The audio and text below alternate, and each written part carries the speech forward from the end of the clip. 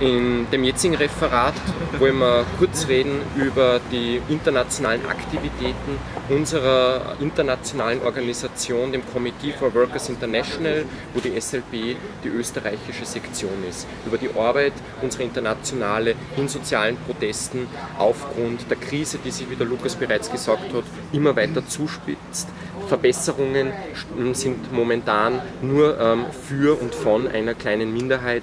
Das drückt sich dann für eine große Mehrheit an Arbeiterinnen und Arbeitern aus in Kürzungen, Jobabbau, Austerität und ähm, nur noch mehr Arbeitslosigkeit, nur noch mehr Wohnungslosigkeit. Privatisierungen, Privatisierungen und noch mehr Privatisierungen. Dagegen gibt es als Ausdruck weltweit Massenproteste, Organisation von Arbeiterinnen und Arbeitern und da sind unsere Genossen weltweit ein fixer, wenn nicht führender Bestandteil. Und da möchte ich ähm, führende Länder, wo der Klassenkampf besonders stark ausgeprägt ist oder besonders interessant ist, wenn auch nicht so stark ausgeprägt, hervorheben. Das sind unter anderem Brasilien, die USA, Südafrika, Griechenland, Hongkong, Israel und Palästina, Russland, Irland und Schottland. Brasilien ist besonders interessant wegen äh, der Polarisation, die in der Gesellschaft noch einmal stärker geworden ist durch die, ähm, durch die Weltmeisterschaft, ähm, durch die Fußballweltmeisterschaft, durch die Kürzungen, die im Anbetracht von diesem irrsinnigen finanziellen Aufwand die Regierung der Arbeiterklasse in ähm, Brasilien aufgehalst hat.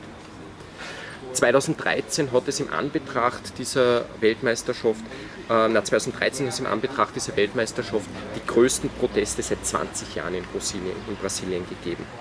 Schon lange hat sich eine soziale Explosion abgezeichnet. Das hat subjektive und objektive Gründe, die sich in ähm, vielen Punkten äh, finden lassen. So unter anderem, ähm, dass tausende Menschen wohnungslos sind, dass äh, in Brasilien die letzten Jahrzehnte ganz im Zeichen von mehr und mehr Privatisierungen stehen. Ähm, es hat schon 2012 eine Abzeichnung von erhöhten Streikzahlen gegeben und diese soziale Explosion, die ist in nächste Nähe gerückt. Ähm, es hat 2012 einen historischen Streik gegeben in der Verwaltung und im Bausektor, an dem sich 300.000 Menschen beteiligt haben. Das heißt, die Streiks und die Proteste haben in Brasilien eine ganz neue Größenordnung erreicht. Ähm, die Regierung hat 2013 die Fahrpreise im öffentlichen Nahverkehr erhöhen wollen und das hat dann sozusagen das Fass zum Überlaufen gebracht. Ganze Quantität aus ähm, Unruhen, die ganze Quantität aus Kürzungen durch die Regierung schlägt in eine neue Qualität an Massenprotesten um. Und zwei Millionen Menschen gehen auf die Straße. 500 Städte werden in Brasilien lahmgelegt, wo auch unsere Genossen und Genossinnen führend dabei sind, Material zu verteilen, führend dabei sind, diese Proteste zu organisieren der Druck ist in dieser Situation so groß auf die Regierung geworden, dass sie diese Fahrpreiserhöhung zurücknehmen hat müssen. Das ist im Anbetracht von zwei Millionen Menschen, muss man aber ganz ehrlich sagen, nicht viel. Es wäre mehr drinnen gewesen. Der einzige, und das ist ein wirklich wichtiger Erfolg, den die Bewegung erzielt hat, ist, dass durch diese Kämpfe, durch ähm, die Organisation von Arbeiterinnen und Arbeitern, dem Brasilia der brasilianischen Arbeiterinnenklasse das Gefühl gegeben worden ist, dass sie durch Kämpfen und Organisation etwas erreichen können. Es sind dann so Plakate bei Demonstrationen hochgehalten worden mit ähm, Aufschriften wie Bildung und Gesundheit soll die FIFA zahlen. Ähm, es ist dann eben zu Protesten konkret zur FIFA gekommen, weil das Milliarden ähm, Euro verschluckt hat, Milliarden und aber ähm, Millionen von Euros. Und dieses Geld ähm, hat dann konkret im Gesundheitssektor, im sozialen Sektor und so weiter und so fort gefehlt. Ähm, gerade vor Stadien, in den Vorausspielen, ähm, hat es ähm, große Proteste gegeben, wo die Polizei so viel Tränengas teilweise eingesetzt hat, dass die Spieler in den Stadien selber drinnen die Auswirkungen davon zu spüren bekommen haben. Die Präsidentin von äh, Brasilien Dilma hat vor den Protesten eine Beliebtheit von 60 Prozent in den Umfragen gehabt. Jetzt nach den Protesten ist sie unter die Hälfte gesunken und es steht jetzt in den Sternen, ob sie wieder gewählt wird. Unsere Genossen und Genossinnen in Brasilien gehen davon aus, dass sie wieder gewählt wird. Aber es ist jetzt eine ganz andere Qualität in der politischen Landschaft, die wir nach diesen großen Protesten gegen die Weltmeisterschaft vorfinden. Es hat einen großen Bildungsstreik gegeben, bei dem unsere Genossinnen und Genossen es geschafft haben, 100.000 Menschen auf die Straße zu mobilisieren. Es waren auch unsere Genossinnen und Genossen vom CWI, die führende Sprecher bei den Protesten waren. Der äh, Hauptsprecher bei einem großen Protest mit mehreren tausend, 10.000 Teilnehmern gegen die FIFA-Weltmeisterschaft und für soziale Verbesserungen war ein Mitglied der LSR unserer Sektion in Brasilien. Unsere Genossinnen und Genossen haben in Brasilien ähm, gute Kontakte ähm, im Busfahrerstreik zu den dortigen Busfahrern aufbauen können, haben, weil dort viele unserer Mitglieder angestellt sind, in der Rüstungsfabrik äh, führende Positionen im Widerstand gegen Kürzungen, ebenfalls in der Chemieindustrie. Im bei den U-Bahn-Beschäftigten ähm, bei der Metro ist ebenfalls unsere Sektion, die äh, führend bei der Verteidigung äh, des Streiks, ähm, der jetzt schon äh, Wochen andauert, dabei, wo auch 42 Kolleginnen und Kollegen bei der Metro äh, entlassen worden sind.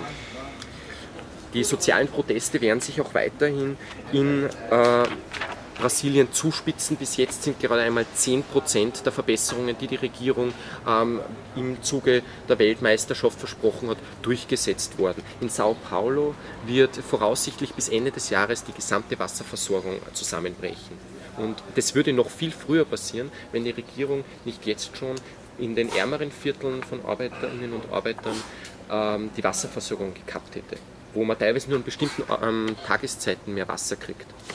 Und ähm, auch hier wird es extreme soziale Sprengkraft in der Zukunft geben, wo unsere Sektion ähm, konkret angreifen kann. Das Wirtschaftswachstum ist äh, von 2% in den letzten Jahren auf lediglich 1,2 bis 1,6% gesunken. Inflation 6 bis 7%. Im Autosektor 4000 Autos stehen einfach in der Gegend herum und werden nicht verkauft. Eine irrsinnige Blase und Spekulationsblase. Auch hier Basis für weitere Kürzungen, Basis für weitere Massenentlassungen.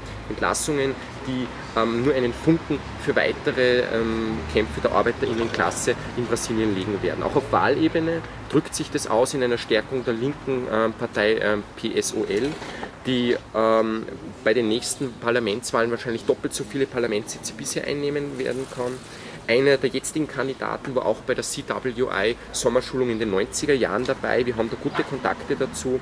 Und auch unsere Genossen sind auf Wahlebene als Vertreter der Proteste in Brasilien führend mit dabei. Ähm, ein ähm, unserer äh, Genossen vom CWI, der in der Provinz Rio Grande kandidiert, hat eine Zustimmung von 4% äh, und sogar 10% in der Hauptstadt. Das mag wenig klingen, ist aber auch nur der Anfang im Anbetracht von den Entwicklungen in Brasilien. Das heißt, wir sind in Brasilien ähm, aufgrund ähm, der Klassenkämpfe, die jetzt weitergehen werden, auch nach der Weltmeisterschaft, ähm, die treibende Kraft hinter diesen Protesten. Wir haben momentan 230 Mitglieder in Brasilien und werden diese Mitgliederzahl jetzt bis Ende des Jahres auf 300 und noch weiter ausbauen. Wir werden ähm, die bolschewistische Tradition einer revolutionären Partei trotz dieser Zunahme an Mitgliedern aufrechterhalten und weiterhin auch die Avantgarde in diesen Kämpfen, die die Arbeiterinnenklasse in Brasilien zu bestreiten hat, darstellen kommen wir gleich zur nächsten sehr erfolgreichen Partei, nämlich in den USA, die Socialist Alternative, die in jüngster Vergangenheit ja für uns seit den, ähm, das erste Mal seit 100 Jahren einen Stadtratssitz errungen hat mit ähm, unserer Genossin Chama Sawant aber kurz mal zu den Hintergründen. Es gibt eine extreme Einkommensungleichheit in äh, den USA. Sogar manche äh, bürgerliche Kommentatoren ähm, von einem keynesianischen Standpunkt finden das eher bedenklich. Hat ein Milliardär den netten Ausdruck ähm, gebraucht, ich zitiere, wenn wir unsere Politik nicht ändern, werden wir auf den Status Frankreichs vor der Revolution im 18. Jahrhundert zurückfallen. Die Leute werden mit den Heugabeln vor unserer Tür stehen. Ähm, sehr nett, dass der Angst hat. Er hat zu Recht Angst, denn die Arbeiterklasse und ihre Organisationen sind in den USA im Kommen. Ähm, der Aufschwung, wie ich bereits am Anfang gesagt habe, ist auch in den USA zwar vorhanden, aber nur von einer kleinen Gruppe und für eine kleine Gruppe. Die Masse der Arbeiter, die spürt davon nichts. Und ähm, diese Wut, die existiert, die hat sich dann in der Vergangenheit, zum Beispiel in der Occupy-Bewegung, ausgedrückt die Tea Party-Bewegung sehr interessant, die diese Wut versucht hat, rassistisch zu kanalisieren, hat nie eine Massenbasis gefunden. Und ähm, jetzt gilt es, diese Wut auch mit sozialistischen Inhalten zu füllen und das macht unsere Schwesterpartei in den USA. Ähm, Es ist die Gefahr, dass ähm, sich aber aufgrund dieses Linksrucks, wo, wie der Lukas bereits gesagt hat, mehr Jugendliche den Sozialismus interessant finden als den Kapitalismus, äh, sich linkspopulistische Kräfte durchsetzen. Zum Beispiel der ähm, Demokrat, der Democrat äh, de Blasio, der in ähm, New York aufgrund eines linkspopulistischen Programmes gewonnen hat. Was notwendig ist, ist in den USA eine breite Arbeiterinnenpartei aufzubauen. Und ähm, da ist unsere Partei momentan die einzige, die da wirklich eine führende Rolle einnimmt. Die Gewerkschaftsführer, die Rechten, ähm, haben, sind auch im Kontext von einem sehr restriktiven Gewerkschaftsrecht, ähm, haben da eher eine sehr ähm, reaktionäre Rolle und es liegt auch hier an unserer Partei, an unserer Schwesterorganisation vom CWI in den USA, sich konkret mit diesen auseinanderzusetzen, mit diesen Gewerkschaftsführern, sie herauszufordern und die Basis zu organisieren. Das ist mit unserer Kampagne, die wir mit dem Antritt von Chama Savant ähm, als äh, Stadtrat in Seattle angefangen haben, 15 Now auch konkret passiert. 15 Now ist, ähm, nochmal zur kurzen Erläuterung, äh, die Kampagne zu äh, der Erhöhung des Mindestlohnes, zuerst in Seattle, jetzt in den ganzen USA 15 Dollar äh, pro, äh, pro Stunde. In der Vergangenheit hat es schon Proteste gegeben, aber es war erst dann unsere Sektion, die diese Proteste organisiert und zusammengeführt hat und zu dieser Schlagkraft verholfen hat, die im Endeffekt dann ähm, jetzt den Sieg errungen hat.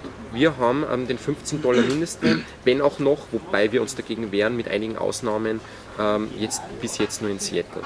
Jetzt ist es in äh, den ganzen USA im Kommen und wir bauen in den ganzen USA neue Ortsgruppen auf, haben allein in den letzten Monaten unsere Mitgliederzahl auf 500 Mitglieder verdoppelt und äh, werden auch weiterhin äh, uns mit den Arbeiterinnen und Arbeitern organisieren. Es hat vielleicht ein nettes Zitat am Ende, ein rechter Gewerkschaftsführer, äh, ein lokaler rechter Gewerkschaftsführer sich dann sogar zu der Aussage hinleiten lassen, Normalerweise sind es die Gewerkschaften, die die Arbeiterrechte verteidigen oder die am besten sind, die Arbeiterrechte zu verteidigen. In diesem Fall war das nicht der Fall. Das war die Socialist Party, die auch hier wieder die äh, Socialist Alternative, die die Avantgarde des Proletariats in den USA dargestellt hat und auch jetzt den Kampf für eine neue äh, Organisation der Arbeiterinnen und Arbeiter darstellt. Gut, dann zu Südafrika, wo in den äh, letzten Monaten Wahlen waren. Ähm, hier hat unsere Schwesterpartei das Democratic Socialist Movement ähm, in Form einer äh, breiteren sozialistischen Arbeiterinnenpartei, der Workers and Socialist Party, kandidiert. Vorneweg, unsere äh, Erwartungen sind nicht erfüllt worden. Ja, wir wollten einen Sitz gewinnen, dazu wären 40.000 bis 50.000 Stimmen von Noten gewesen. Wir haben nur 8.000 Stimmen bekommen und ich würde jetzt nur kurz drüber gehen, wie die aktuellen Perspektiven in Südafrika sind und ähm, wieso das äh, zu diesem Ergebnis gekommen ist und was unsere eigenen weiteren Perspektiven äh, unserer Schwesterorganisation sind. Ähm, es hat sich ein paar Monate nach ähm, der Gründung der Workers and Socialist Party, zu der ich dann noch komme, ähm, die Partei Economic Freedom Fighters, eine eher linkspopulistische Partei gegründet, die äh, 1,3 Millionen Stimmen bekommen hat können. Sie war eigentlich unser Hauptkonkurrent in dieser Wahl und ähm, wir als Workers and Socialist Party wollten mit dieser Partei ähm, zusammenarbeiten. Diese wollte aber, dass wir uns ihr unterordnen. Von dem her war eine Zusammenarbeit nicht möglich, weil ihr Programm grundsätzlich nicht auf eine kämpferische Politik aus war, sondern nur auf reformistische Forderungen gegen das ähm, Etablissement. Ähm, dazu dann später vielleicht noch ganz kurz was, aber jetzt einmal zur Workers and Socialist Party, die am 21. März 2013 gegründet worden ist, auf Basis des ähm, Massakers von Marikana.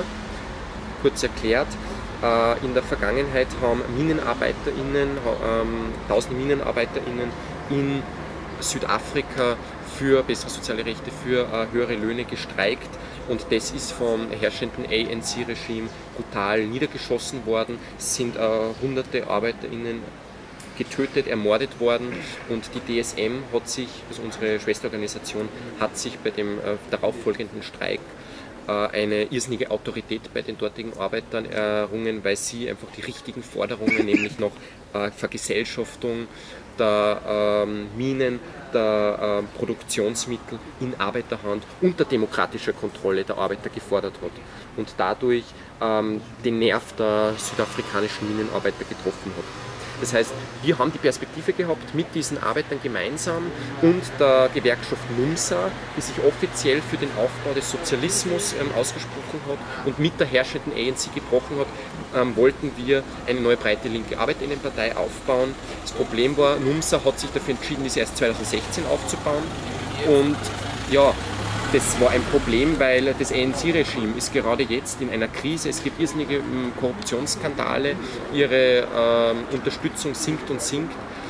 Das heißt, wenn, wenn jetzt, also wenn, äh, warum nicht jetzt? Ja? Warum dann wir nicht jetzt diese Initiative setzen? Das heißt, wir haben äh, ohne die breite Unterstützung von NUMSA diese Partei gegründet und ähm, ja, damit hat eigentlich im Endeffekt das Problem seinen Anfang genommen.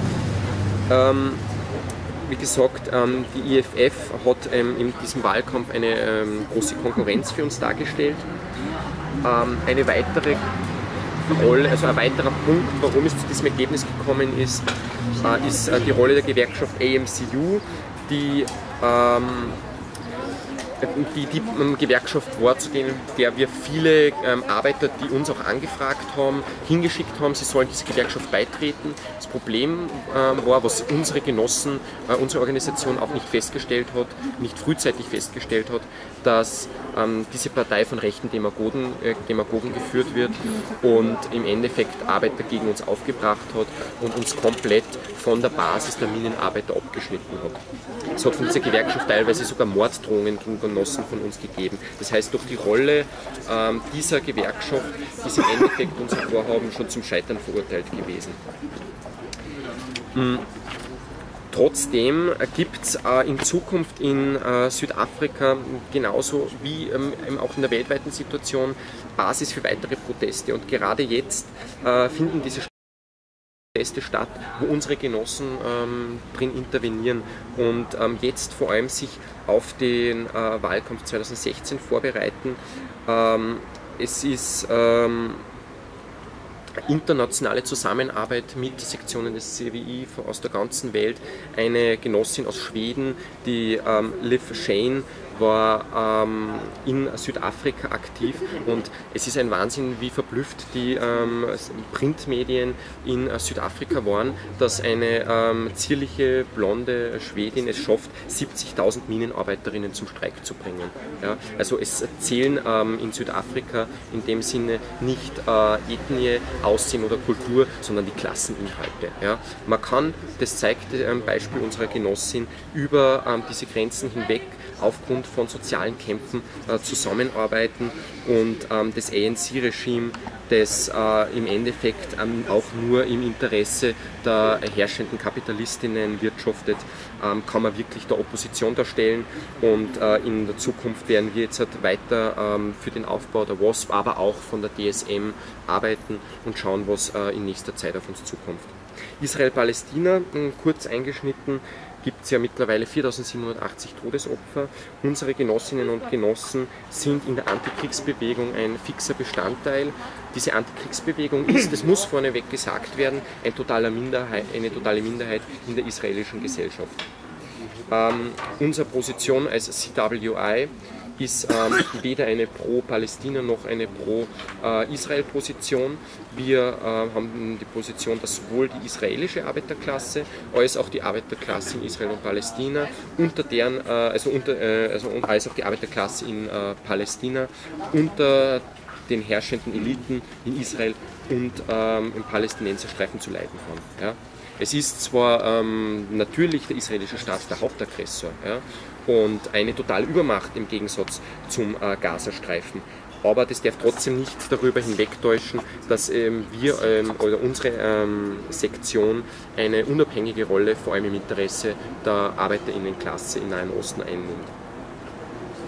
Ähm, die Proteste in letzter Zeit waren zuerst noch klein und haben ca. 1000 Teilnehmer eingenommen, aber es gibt vor allem ähm, in einem gewissen Teil der Bevölkerung, in einer gewissen Schicht, eine Basis äh, für eine linke Alternative, äh, auf die unsere Sektion auch aufbauen kann und wo man auch diese Proteste jetzt in nächster Zeit ausbauen kann. Die ähm, sehr rechte, wenn, ähm, also eine der rechtesten Regierungen weltweit unter Netanyahu ist, ähm, wie gesagt, ähm, hat wie gesagt eine sehr große Unterstützung der bei der Bevölkerung, weil da vor allem viel Angst äh, vor äh, Raketenangriffen und so herrscht. Deswegen haben auch die Raketenangriffe von Israel, ähm, von Israel auf Palästina eine gewisse Unterstützung, wenn nicht eine sehr große Unterstützung. Damit müssen unsere Genossinnen und Genossen in äh, Israel zurechtkommen, da müssen sie argumentieren. Ähm, da ist es auch sehr praktisch, dass sie ähm, als Trotzkistinnen und Trotzkisten auf ähm, ein Übergangsprogramm hinweisen können, wo wir konkret die Forderung nach Sozialismus und konkret die Forderung nach sozialen Verbesserungen in Zusammenhang mit dem Kampf für Frieden stellen. Weil mit ähm, Militäroffensiven kann kein Frieden in diesem Gebiet hergestellt werden. Es geht nur durch einen gemeinsamen Kampf von Arbeitern und Arbeiterinnen. Und ähm, weil eben diese sozialen ähm, Gleichheit grundsätzlich einmal da ist zwischen ähm, Menschen im Gazastreifen, Arbeitern im Gazastreifen und Arbeitern in Israel, sind diese gemeinsamen Proteste möglich. Das heißt, auf diese zukünftige Perspektive setzen unsere Genossen und leisten da unter sehr schwierigen Bedingungen, ja, höchst schwierigen Bedingungen, Repression ähm, des jeweiligen Staates, ähm, unglaubliche Arbeit und werden das auch in Zukunft tun. In Russland ebenfalls schwere Repressionsmaßnahmen der Regierung. Die Regierung Putin hat vor allem durch die sehr offensive Politik an Unterstützung dazugewonnen. Ähm, Wenn es auch vor zwei Jahren große Massenproteste gegeben hat wegen ähm, Wahlfälschung und ähm, auch da unsere Genossen Teil davon waren. Es hat ähm, in Form, äh, also in ähm, im Zusammenhang mit diesen Protesten gewisse Zugeständnisse an äh, die Protestierenden gegeben, äh, eine Wahlreform, die dann aber wieder zurückgenommen worden sind, weil die liberale Führung, die bürgerliche Führung dieser Proteste nicht in der Lage war, sie weiterzuführen. Sie hat Angst um ihren eigenen Einfluss gehabt. Das heißt, auch hier ähm, bietet unsere Sektion in Russland eine Alternative, nämlich eine sozialistische Perspektive, die ähm, diese Proteste auf das nächste Level hebt. Aber dazu noch kurz noch. Ähm, in ähm, der Ukraine, ähm, im Ukraine-Konflikt hat äh, unsere Sektion äh, ebenfalls einen Standpunkt, der weder pro Russland, wie es viele linke Kräfte, sich sogenannte linke nennende Kräfte in Russland haben, ähm, noch eine pro Ukraine-Position, äh, sondern ebenfalls wieder einen konsequenten marxistischen Klassenstandpunkt. Ähm, auch hier sind die Demonstrationen, die Friedensdemonstrationen von extremer Repression durch den Staat ausgesetzt. Genossinnen von uns sind ähm, in Form äh, in ähm, diesen Protesten zum Teil verhaftet worden und ähm, müssen auch hier äh, die Unterdrückung des Staatsapparates erleiden. Aber ähm, wie gesagt, wir bieten diese Perspektiven und ähm, die, ähm, die, die Regierung setzt heute einmal auf sehr, sehr schmutzige Mittel. Bei einem alternativen Musikfestival im Osten der Ukraine hat zum Beispiel der Verteidigungsminister Russlands ähm, dazu aufgerufen, der russischen Armee beizutreten, um das neue Russland zu erobern. Ja? Das heißt, auch hier werden Jugendliche konkret ähm, angesprochen, ähm, weil das halt auch für das etwas, ähm, ähm, Etablissement eine sehr inter interessante Gruppe ist. Ja? Ganz klar die ähm, sind auch für uns interessant und auch hier werden wir bei jungen Arbeitern weiterhin ansetzen. Mhm.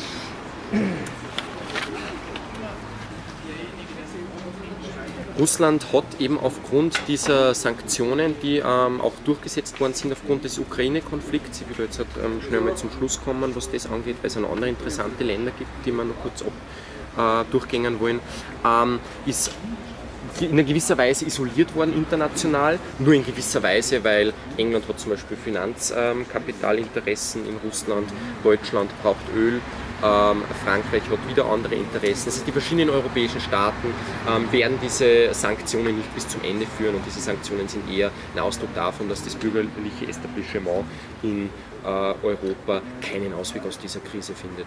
Ja, das kann nur eine ähm, Gruppierung wie wir auf Basis eines Klassenstandpunktes machen, weil wir nicht an irgendwelche profitorientierten Firmen in diesem und diesem Land gebunden sind.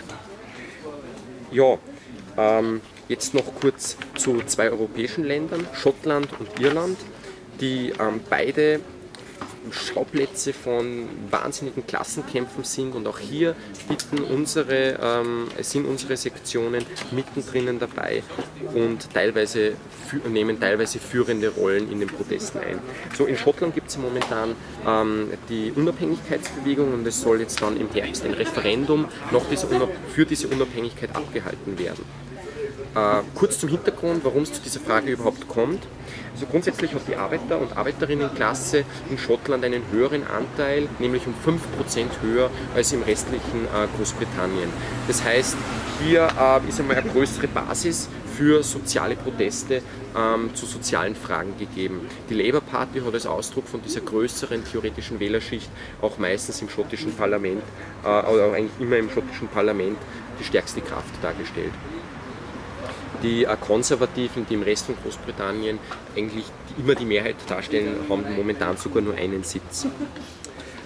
Ja, ähm, die Socialist National Party, die SNP, ist ebenfalls ein wichtiger Faktor in der politischen Landschaft, weil sie, äh, um darauf jetzt zurückzukommen, die treibende Kraft ähm, hinter ähm, dieser Unabhängigkeitsfrage ursprünglich war. Und wir haben uns jetzt als äh, CWI, äh, unsere Sektion dort, die Socialist Party, damit auseinandersetzen müssen in der Vergangenheit. Grundsätzlich unterstützen wir ähm, die Unabhängigkeit Schottland, Schottlands, ähm, das Selbstbestimmungsrecht von ähm, Nationalstaaten und ähm, gehen da aber von einer anderen Argumentation als die SNP und äh, viele Schichten in der Bevölkerung aus, die sich äh, mal ganz abstrakt eine gewisse Verbesserung durch die Unabhängigkeit erhoffen. Die SNP ähm, führt ihre Kampagne für ein Ja zur Unabhängigkeit eher so mit dem Argument, dass sich eh nichts ändern wird. Die Queen soll weiter Staatsoberhaupt bleiben, Schottland soll in der NATO bleiben, es soll eine Währungsunion beibehalten werden und ähm, Schottland soll auch den Euro beibehalten. Die einzige vielleicht fortschrittliche Forderung von der SNP ist, dass Atomwaffen, die Großbritannien in Schottland auslagert, ähm, aus Schottland wegkommen sollen. Aber ansonsten ist grundsätzlich die SNP eine reaktionäre Big Business Partei. Unsere äh, Sektion in Schottland, die Socialist Party, verwendet jetzt diese Frage der Unabhängigkeit, um mit Menschen über den Sozialismus zu reden. Für ein unabhängiges sozialistisches Schottland. Weil ein unabhängiges Schottland grundsätzlich mal bessere Perspektiven für diese sozialen Proteste und für den Übergang zum Sozialismus bietet. Und äh, grundsätzlich gibt es eine gewisse Schicht oder eine große Schicht der Arbeiterinnen und Arbeiter, die das anspricht. Auf unseren Events, auf unseren, ähm, Events, ähm, auf unseren Kampagnen ähm, hat sich gezeigt, dass eine enorme Masse an Arbeitern mit dieser Position sogar mehr anfangen können als mit der der S&P.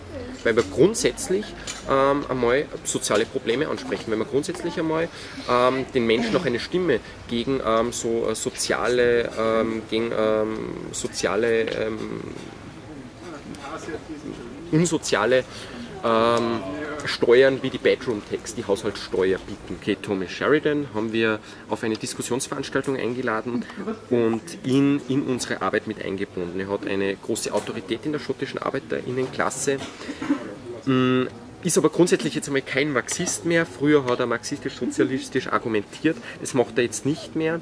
Er ähm, redet grundsätzlich jetzt einmal äh, so von so abstrakten Begriffen wie Freiheit und Unabhängigkeit. Der Redner auf der Sommerschulung hat es nicht verglichen, dass eher so wie ähm, Braveheart, ähm, wie Braveheart klingt, ähm, der Film von Mel Gibson, aber gleichzeitig redet er dann auch über ähm, Nationalisierung unter, de, ähm, unter, demokratischer Kontrolle der äh, Produktionsmittel von, ähm, und ähm, dem öffentlichen Eigentum von Öl und Gas. Das wird Mel Gibson jetzt nicht machen. Das heißt, er ist ähm, äh, positiver Faktor für unsere Kampagne und es ist nicht umsonst, dass jetzt die Unterstützung für ein Jahr bei immerhin 43 Prozent liegt. Das heißt immer noch nicht genug, dass man für eine Unabhängigkeit, ähm, dass es für eine Unabhängigkeit reicht, aber wir haben es, hm, das zeigt sich vor allem durch unsere Kampagne ausbauen können, diese Unterstützung. Wir haben bisher über 60 Veranstaltungen abgehalten mit Besucherzahlen von ähm, ca. 200 Teilnehmern jeweils, also ähm, gut geschätzt 30.000 TeilnehmerInnen auf unseren Veranstaltungen gehabt. Das heißt, auch hier haben wir Leute, die ähm, wir über diese ähm, Unabhängigkeitsfrage an den Sozialismus und an unsere Partei heranführen. was sich ganz konkret in Mitgliederzahlen, in Aktivitäten ähm, über die Socialist Party dann ausdrücken. Ähm, ja, es ist problematisch äh, wäre die Situation in der allgemeinen Linken, wenn ähm, dann wirklich ein Nein ähm, auf, ähm, wenn dann wirklich ähm, für ein Nein gestimmt werden würde, das würde die schottische Linke, ähm, so nehmen wir an, grundsätzlich einmal demoralisieren. Unsere Sektion hat trotzdem die weitere Perspektive und ähm, gibt auch auf anderen, zu anderen sozialen Fragen wie eben der Bedroom-Tax, der Haushaltssteuer, der Wassersteuer den Menschen ähm, eine Stimme, organisiert sich mit den Menschen. Das heißt, selbst wenn für ein Nein gestimmt wird, gibt es 100 Perspekt 1000 weitere Perspektiven für die schottische Arbeitnehmerklasse, sich zu organisieren und 100 und 1000 weitere ähm, Perspektiven für unsere Schwesterorganisation, die Socialist Party, hier eine führende Rolle einzunehmen. Zu guter Letzt noch zu Irland. Äh, sehr, sehr cool, ähm, wie jetzt momentan die Kämpfe ablaufen. Es hat auch hier ähm, gewisse Hoffnungen in eine Erholung der Wirtschaft gegeben, die enttäuscht worden sind. In den ähm, kommenden Monaten und Jahren wird es zu Protesten führen, hat in der Vergangenheit auch eben zu konkreten äh, Protesten geführt. Ich möchte da jetzt zur sogenannten Anti-Austerity Alliance der AAA eingehen, eine Kampagne unserer Schwesterpartei, ebenfalls äh, Socialist Party genannt. Es geht ähm, bei der Anti-Austerity Alliance grundsätzlich um eine Anti-Haushaltssteuerkampagne. Die Haushaltssteuer ähm, soll von der Regierung jetzt, ähm, sollte von der Regierung in Irland eingeführt werden und ähm, ist meine komplett unsoziale Steuer, die vor allem Arbeiterinnen und Arbeiter ähm, in ihrem finanziellen Status extrem angreift. Ähm, Anfang 2012 haben wir drei Monate Zeit gehabt, um bis Ende März eine Kampagne aufzustellen, weil bis Ende März hat diese Steuer bezahlt werden müssen. Und tatsächlich ist es uns aufgrund dieser Anti-Haushaltssteuerkampagne gelungen, 52 Prozent der Bevölkerung dazu bewegen, diese Steuer nicht zu zahlen. Ähm, wir haben in 20 von 26 irischen Bezirken diese Kampagne geführt und haben allein in den ersten ähm, drei Monaten von 2012 30.000 Menschen wieder auf Veranstaltungen gehabt. Ähm, die ähm, politische Elite in Irland hat davon wohl Wind bekommen und ihre Taktik geändert. Äh, jetzt ist es auf einmal ähm, so geändert worden, dass die Steuer direkt äh, über die Lohnsteuer bezahlt worden ist. Das heißt, es hat keine Option mehr gegeben, ob man es jetzt zahlt oder nicht. Es ist den Menschen aufgezwungen worden und nicht zahlen war keine Option mehr. Das heißt, auf ähm, Steuerebene Widerstand zu leisten, war ebenfalls keine Option mehr. Hier hat es dann Debatten in der Anti-Haushaltssteuerkampagne gegeben und ähm, ein Teil äh, hat sich ähm, eben unter der Führung von unserer Sektion dann für eine politische Kampagne entschieden. Es wäre möglich gewesen, bei den Kommunalwahlen 100 bis 200 Anti-Kürzungskandidatinnen aufzustellen. Zum Vergleich, die Labour Party stellt 51 Stadträte. Das heißt, ähm, wir hätten mindestens doppelt so viele Stadträte wie die Sozialdemokraten in Irland aufstellen können. Aber es sind zwei Faktoren dazugekommen, die das verhindert haben. Das ist zum einen einmal ähm, die starke Antiparteienstimmung, die in ähm, der Anti-Haushaltssteuerkampagne gewesen ist. Das heißt, man war grundsätzlich ähm, auf breiter Ebene gegen Parteien und äh, gegen Beteiligung an Wahlen. Damit haben wir ähm, uns auseinandersetzen müssen. Außerdem eine sehr sektiererische Position der SWP, äh, Max 21, äh, wenn man es auf Deutschland überträgt, die ihre eigene Kampagne starten wollte und auch hier haben sich ähm, potenzielle ähm, Aktivistinnen von der Kampagne abgespalten. Im Endeffekt war es notwendig, dass wir ähm, als, als CWI, unsere internationale, unsere Sektion in Irland mit ähm, in den Gebieten, wo wir besonders stark waren, eine eigene Kampagne in Form der Anti-Austerity Alliance gestartet haben. Ähm, in der AAA haben sich sieben bis acht Gruppen mit ähm, je ca. 20 Teilnehmerinnen alle zwei Wochen getroffen, sind von Tür zu Tür gegangen, haben mit Leuten diskutiert und Leute in die Arbeit eingebracht. Wir haben in elf Wahlkreisen ähm, kandidiert und ungefähr 400 Mitglieder die Socialist Party nicht mit einberechnet, für unseren Wahlkampf mit einbinden können. 800 bis 900 weitere AktivistInnen haben dann zusätzlich noch für uns Flugblätter verteilt. Das heißt, da haben wir einen großen Einfluss in dieser Bewegung gespielt. Und am Ende haben wir 39 Kandidatinnen stellen können, von denen 14 gewählt wurden. Neun von diesen 14 äh, gewählten Antikürzungskandidatinnen waren Mitglieder der Socialist Party. Es hat dann grundsätzlich ähm, eine berechtigte Kritik gegeben, was wäre, äh, wenn wir als Socialist Party angetreten wären. Wir haben uns dann ähm, mit äh, einer Ministudie oder sozusagen mit einer Einschätzung mit auseinandergesetzt und es ist sehr wahrscheinlich, dass wir nicht mehr als sechs Stadträte hätten wir alleine kandidiert geschafft hätten. Das heißt, wir haben zusätzliche drei Stadträte durch dieses breitere äh, linke Auftreten geschafft. Das heißt, das war ein taktischer ähm, Schritt, der durchaus notwendig war und auch ein wichtiger Schritt für eine neue, neue breite Arbeiterinnenpartei. Ja, also alleine würden wir das nicht setzen. Und diese Anti-Austerity Alliance ist jetzt momentan auch schon die fünfte stärkste Kraft auf Kommunalebene. Auch hier bauen wir weiter aus. Ähm, jetzt ähm, geht es darum, auf die Parlamentswahlen zwischen zwei, ähm, jetzt und 2016 ähm, sich hinzuorientieren, aber dabei den Klassenkampf in Betrieben und Gewerkschaften nicht außer Acht zu lassen, sich mit den äh, dortigen ähm, Beschäftigten auch zu organisieren und auch den Charakter einer bolschewistischen Partei in diesem Aufschwung, wie es für alle unserer Parteien, die sich im extremen Aufschwung ähm, sich befinden, nicht zu verlieren. Ja, wir führen also diese Kampagne in diesem Moment weiter und ähm, in diesem Moment ähm, bauen wir unsere Kräfte aus. Das gilt eben nicht nur für Irland, das gilt nicht nur für ähm, Hongkong, das gilt ähm, nicht nur für all die ganzen anderen ähm, wichtigen ähm, wichtigen Schauplätze des Klassenkampfes, die ich jetzt aufgezählt habe. Der Klassenkampf ist äh, weltweit im Anbetracht einer ähm, sich noch immer verschärfenden Krise zwar nicht immer überall ähm, im Aufschwung, wie er sein sollte, und nicht immer überall in ähm, perfekter Relation zu den Kürzungen stehend, aber die Arbeiterklasse kennt nur kleine Niederlagen und ähm, die Erfolge der letzten Jahre geben uns durchaus als CWI äh, die Perspektive, dass die nächsten Jahre nicht langweilig werden und wir ähm, grundsätzlich beim Aufbau von breiten Arbeiterinnenparteien beteiligt sein werden, hier führende Kräfte, äh, führende Positionen einnehmen werden und auch die Weltrevolution dadurch einen Schritt näher bringen.